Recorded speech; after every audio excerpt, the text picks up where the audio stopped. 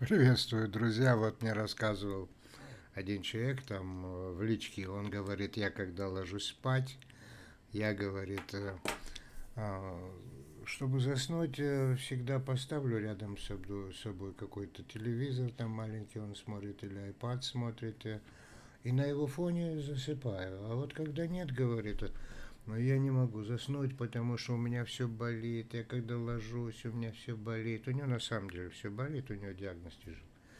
А вот когда смотрю, смотрю, и я, говорит, раз и засыпаю. Почему, говорит, так происходит? Ну и другой случай, другой пример. А, например, я помогал э, по скайпу э, человеку, у которого, значит, э, был страх, паника. Он как не повернется, у него паника, у него давление подскакивает. Да. Ну и у него страх, и он не знает, как быть. Я ему говорю, возьми, помассируй его здесь, вот помассируй, найди больную точку. Да, помассируй, помассируй. Ну, он успокоился. Да, потом повернулся, опять у него там прилив какой-то. Ну, не молодой же человек, не 15 лет, а взрослый человек. А и поэтому вдруг в страхе, как фонтан прямо такой, он говорит, я уже несколько дней звоню в скорую помощь, и мне там накачивают все таблетки. И мы с ним 15 минут. Вот так вот разговариваем, я ему говорю, то здесь потрогай, то ушки разомни, то еще пальчики вот так поделай, вот так вот, фаланги пальцев вокруг вот так вот обожми, это Шиацу по-китайски, этому 5000 лет вообще вот этой методики, поделай вот так, ну то есть доминанту переключай. А, и пока я так делал, ему вдруг, вдруг стало хорошо-хорошо, и давление опустилось до нормальности, да, и сердечко стало спокойно биться. И он говорит, как это так, за такое короткое время, а я, говорит, из-за этого скорую помощь вызывал. Да, и таблеток там мне надавали, и таблеток надавали. Ну, хорошо, хорошо. Вот я теперь вот эти два случая вам рассказал. Для чего? В первом случае человек отвлекся, потому что смотрел там iPad или кино какое-то интересное заснул при болях. А второй случай, вот у него плохое состояние, но я с ним работал в том смысле, что я ему давал советы, давал, помогал. Я же не клиника, хотя и врач, и не могу лечением заниматься. Я просто давал советы, как помочь себе в трудной ситуации, когда нет скорой помощи, когда никого нет, когда вы один, когда в этой ситуации вдруг что-то случилось. Да, и вот я отвлек его. Вместо вот этого айпада, как в первом случае, я его отвлек, давая ему корректирующие такие вот э, мягкие, очень щадящие, такие вот точечные воздействия. И он успокоился. Вот в обеих случаях э, есть общая закономерность. Я для чего это все и рассказываю. Дело в том, что когда человек нормально себя чувствует, его мозг не занят, э, ну, то есть он не занимается погружением в себя, он не занимается собой, он занят делами, он весь загружен делами, он там бегает, прыгает, он там чем-то занимается, он отвлечен. А как только у него что-то не в порядке, Мозг, естественно, переключается, э, человек погружается в свое состояние, начинает что-то тревожиться, искать себе какие-то поломки. И в этот момент у некоторых людей, в зависимости от его состояния, тревожности, мнительности или еще чего-то, вот, может резко подскочить страх. А что такое страх? Страх – это пик напряжения сверхнапряжение. Почему это происходит? Потому что в этот момент, когда напряжение растет, мозг так устроен у нас, э, в какой-то части своей работы, мозг работает именно таким образом, что пик напряжения, в принципе, это мобилизация. Э, чтобы человек мог, в принципе, перебирать решения, перебирать решения, искать ресурсы, как выйти из тяжелой ситуации, найти точку опоры. Вот там вот, э, образно говоря, колесо сканирования крутится при высоком напряжении быстрее. Но при этом, если очень высокое напряжение, э, вплоть до паники, ну, зацикливается. зависает как компьютер. Может, тоже работает э, какой-то части, как компьютерные системы. И вот нейросети вот эти. И что здесь происходит? Время для него, для человека в этот момент очень ускоряется. Там вообще за секунда прошла, а ему кажется вечность. И вот, допустим, он бы мог бы сделать что-то, например, выпить водички или помять себе что-то, да, уши размять, но при, при этом, если у него большой страх, высокая мобилизация, каждая секунда проходит как вечность, он не ждет результата. Вот обратите внимание. Я тогда отвлекал, и он ждал немножко результата. И когда человек смотрел iPad, э, кино интересное, он отвлекался от своих болей и засыпал. Потому что когда он отвлекается от своих неприятностей, организм имеет возможность восстановить свои функции, привести себя в баланс, в гармонию, поскольку работает автоматическая саморегуляция.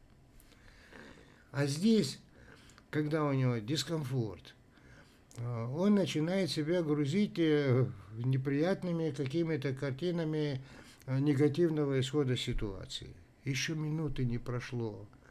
Даже бывает, что он таблету, таблетку выпил, или водичку выпил, или сделал что-то для себя полезное в этот момент. Время еще не прошло, чтобы результат, между усилием и результатом какой-то период должен быть. Ну, хотя бы секунда, ну, хотя бы полминуты, минута хотя бы. Тут я его отвлекал, там он смотрел iPad и засыпал. А здесь он один на один с собой. У него нету той минуты подождать, отвлечься. И он себя грузит и грузит. Отсюда начинается развитие психосоматики. То есть пик напряжения, страх, паника, да, негативные картинки бессознательно. И начинаются психосоматические нарушения. Если у него и были какие-то проблемы, они начинают усиливаться. Поэтому совет, совет, отвлекайтесь. Когда вам плохо, чем-то отвлекайтесь. Я поэтому там, когда бесплатные ликбезы провожу, я же показываю разные приемы, я показываю точечный массаж, я показываю еще что-то. И вы когда делаете, вот вы там видите, как я вам показываю, как кто-то, вы отвлекаетесь. И поэтому даете время какое-то, чтобы сработало усилие и получили результат.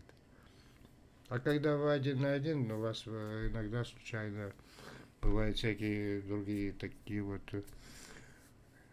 э, мысли о безысходности, вот упаду, вот умру. Ну, это же инстинкт самосохранения работает.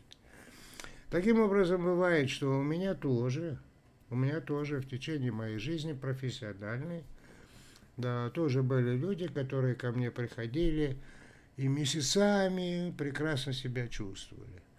А потом раз что-то случилось, или резко погода поменялась, или он там носил чемодан какой-то, шею там немножко подвинул, там, или экзамены были там, не спал нормально, а потом раз подскочило давление, криз какой-то. И у него опять и страхи, и паники, и так далее. И он мне звонит на скайп и говорит, два месяца прекрасно было, а тут опять. Я говорю, слушай, ну ты же знаешь, что надо делать. Ой, все из головы вылетело. Правильно, все вылетает из головы, поэтому это надо помнить, что ты это умеешь делать. Возьми и попробуй сделать. Да, и вот я так говорил минуту-полторы, буквально мы разговаривали опять все восстановилось хорошо. Я опять полтора месяца человека не вижу и не спрашивает меня ни о чем. На велосипеде катается, все прекрасно. Вот оно в чем дело. Вот эта синусоида, которая происходит, то хорошо, то потом вот такое обострение, а, то потом ремиссия, то хорошо. Вот, вот эта синусоида надо помнить, друзья. Первое. Когда вам плохо – Вспомните, что у вас такое бывало, может быть, а потом опять все было хорошо. Да.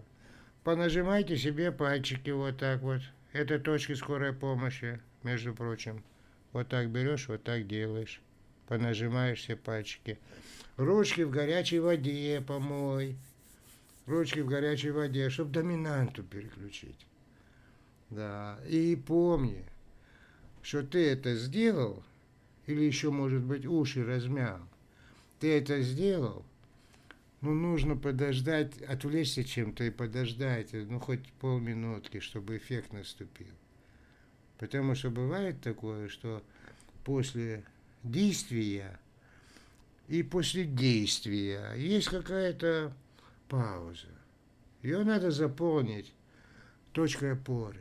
Точка опора – это то, что вы сейчас должны запомнить.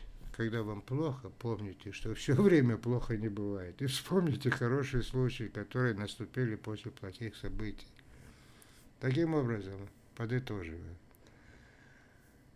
Я хочу сказать, для чего нужны психологи и психотерапевты. Ну, они вот этим и занимаются. Во-первых, они пытаются сформулировать вам позитивный образ исхода ситуации.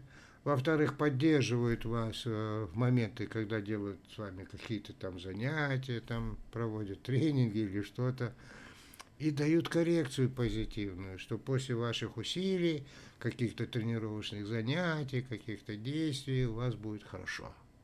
Они вам дают эту коррекцию.